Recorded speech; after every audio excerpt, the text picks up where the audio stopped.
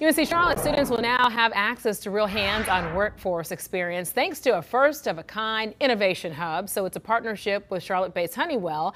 The company is investing $10 million for a reimagined STEM facility that will then help with workforce development.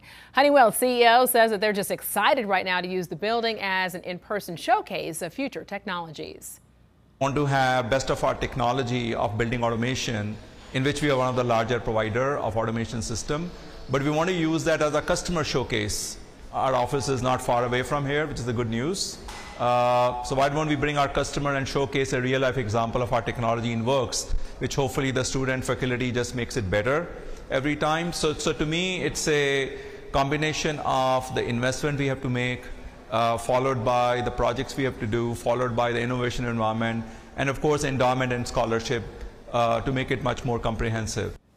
Well, it also yields new scholarship programs along with hands-on opportunities for students to co-create solutions in energy automation and sustainability. Queen City News Plus. Just search Queen City News on your smart TV's app store.